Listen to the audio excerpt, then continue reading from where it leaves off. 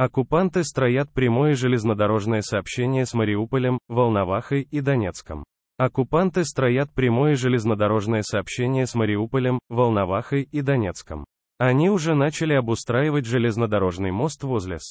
Гранитная через реку Кальмиус, об этом сообщает РБК Украина со ссылкой на телеграм советника мэра Мариуполя Петра Андрющенко. В случае успеха это позволит включить существующую ветвь Мариуполя Сланова Кальчик Волноваха в прямое сообщение с Таганрогом и Ростовом-на-Дону, рассказал он.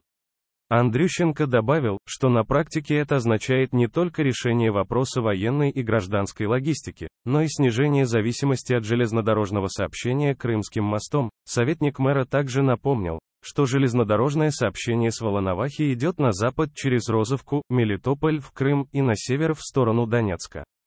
Срочные и важные сообщения о войне России против Украины читайте на канале РБК Украина в Телеграм.